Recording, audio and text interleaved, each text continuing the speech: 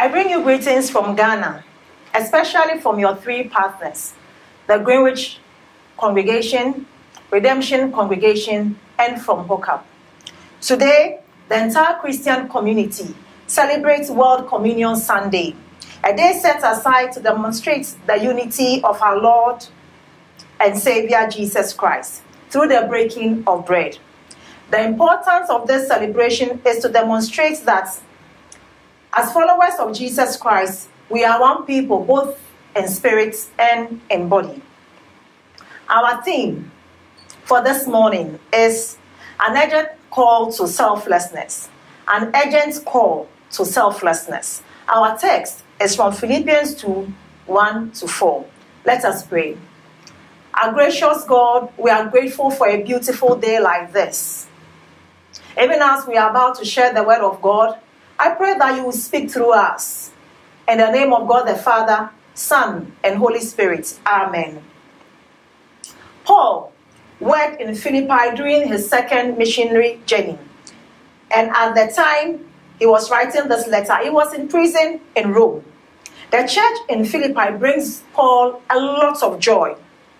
Whilst in prison, the church will send delegation to bring aid or gifts to Paul. Even in prison, Paul remembers the church and writes them this letter. Paul writes to encourage them to even do more for the body of Christ. Our theme, an urgent call to selflessness. Under it, I will look at three points. Number one, Jesus Christ, our standard, labored for us so that we can reap the benefits. Number two, Paul, our good example, labored selflessly so that we may reap the benefits.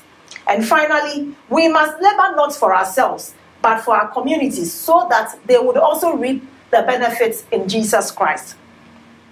Now let's look at the first point. Jesus Christ, our standard, labored for us so we can reap the benefits. In Philippians chapter 2, verses 1 and 2, the Apostle Paul reminds the Philippian church of the benefits they have enjoyed because of their unity in Jesus Christ. Their fellowship with Jesus Christ has brought them many benefits. This includes being encouraged, being comforted, and having fellowship with the spirits, having tenderness and compassion. It is important to note that as believers, we enjoy these benefits in Jesus Christ today. But he had to be selfless, suffer humiliation, and even death, death on the cross, so we are able to reap these benefits. Today, we are being called urgently to emulate Jesus Christ, to work hard as believers, to bring many to enjoy the benefits that we enjoy today, and even to enjoy the bigger benefits of eternal life. I want you to always remember that to be like Christ, you must seek the interest of others. Now let's look at our second point. Paul, our good example, labored selflessly so that we may reap the benefits. The Apostle Paul, in his effort to preach the gospel, was faced with many, many, many, many challenges. He was beaten. In some instances, the Jews plotted to kill him. In some cities, they beat and dragged him out of their cities. He was imprisoned. It was when Paul was in prison that he wrote this letter to the Philippians.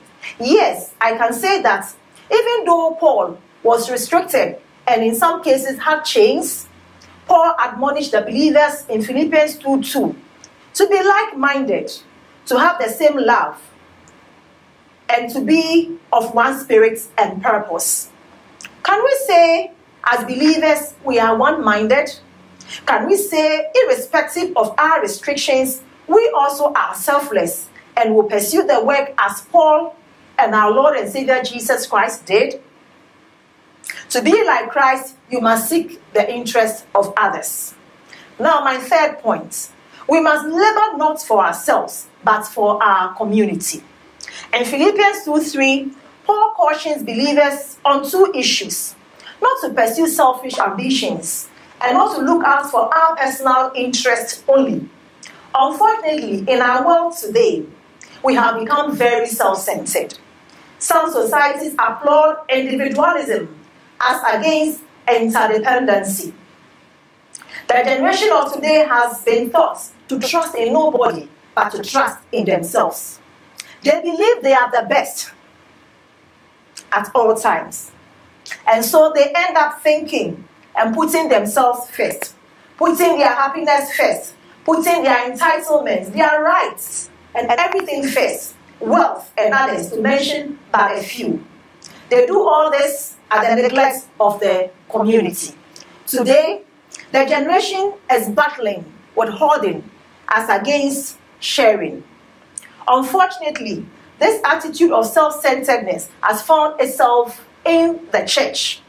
Congregations seek their own interests and neglect the communities that they find themselves in. In some cases, they shut the door to other deprived congregations. Let me share an experience with you. Last month, I was very fortunate to visit two churches. In the first church, I visited their children department. I was very excited what I saw. They had a very beautiful edifice. The children, I would say, were over resourced. They had everything it takes to make worship for children very comfortable. I was very glad. And then I moved on to the next congregation. That will be about an hour's drive between the two congregations. To my surprise, this other congregation's children's department worshipped in a wooden structure that is very old and half broken. The chairs, most of them are broken.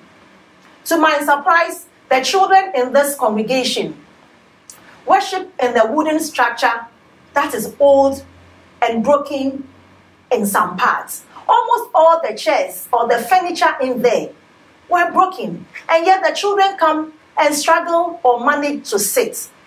The children were resourced with nothing but a whiteboard that their teachers will write on. As I went home, I began reflecting on both churches for the children. Tears filled my eyes. As I went home, I began reflecting on what I saw. I looked at the first church and compared it to the second church. My eyes were filled with tears, and my tears began to drop.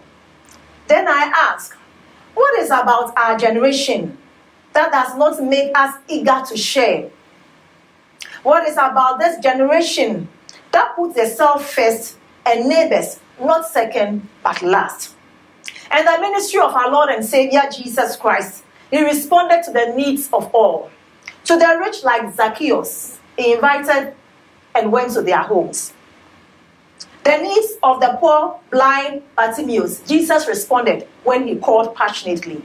He responded to the needs of the widow, the sick, and the demon possessed, to mention but a few. He has called us not to measure our success by the number of people who follow us on social media, but by the number of people we are able to follow with the message of the love of Jesus Christ to bring them from darkness to light. Remember, to be like Christ, you must seek the interest of others. Paul admonishes us in Philippians 2 4, where he says, We should all look not for our own interest, but for the interest of others. At this point, I want to pause and say a big thank you to the Westminster Presbyterian Church in Albany. It is amazing how this congregation seek the interest of the poor and deprived around the world. I have watched in humility how this congregation have partnered and helped in Sierra Leone and Liberia, and most especially for me in Ghana, where I see you contribute in no small way to alleviate poverty for some very deprived communities and 10 hopeless situations around in the areas of education, healthcare, among others.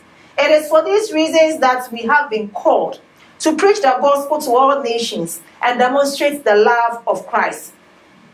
I, however, urge you to even do more individually and collectively in the community that God has placed you and in the world at large. To the Westminster Presbyterian Church, I say, Ayekoo.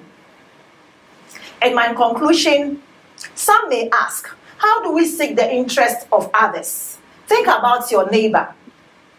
Does he or she know Christ? How can you make time and present Jesus Christ to that neighbor of yours? Can you ask one sitting next to you what their challenges are and how you can help them? Will you take time off your busy schedule and make a call to someone who is sick in the hospital to pray with the person and to bring the person to the salvation knowledge of our Lord and Savior Jesus Christ? We need to take our eyes off ourselves and begin to look at others through the eyes of Jesus Christ. Remember, to be like Christ, you must seek the interest of others. This indeed is an urgent call to selflessness. Jesus Christ, our standard, labored for us so we will reap the benefit. Paul, our good example, labored selflessly so that we may reap the benefit. We must never not for ourselves, but for our communities, so that the community will reap the benefits in knowing Jesus Christ. I came to remind you that as you do this, God in heaven will bless you with every blessing that you need.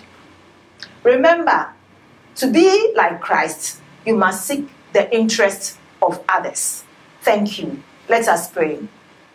Our gracious God, this morning we are grateful for your word that has come to us.